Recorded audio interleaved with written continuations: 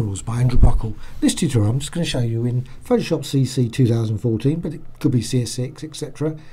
Show you how to turn an image into a black and white image using gradient maps.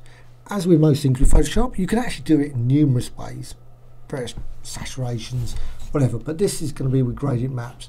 I'm just going to go back now to the original image. So there's the original image, and I'm just going to go for a layer, new adjustment layer, and gradient map click OK. There's options for blending modes, etc. But I'm just going to go for that. Now that's the default one, so I'm just going to get rid of that. And I'm just going to select that gradient there, gradient map. Now, quickly create it, show it, just black there and white. Very, very simple.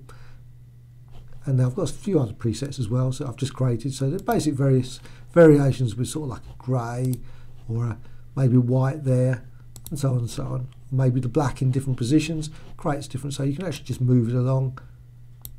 Make it very dark of course maybe up there. Okay so once you've actually done that it's actually a layer so you can always of course remove it. You can just quickly remove it like that. Also there's blending modes not so effective particularly but uh, also once you've actually done the actual like that you can actually go and select over here. Click there once you've done that layer mask thumbnail, you can actually just go obviously with something like a brush or maybe with uh, a gradient or something. You can actually just, if you want to bring back some colour into the image, you can always just quickly apply it like around the lips. And there you have it. Quick and easy way of creating black and white image using gradient maps.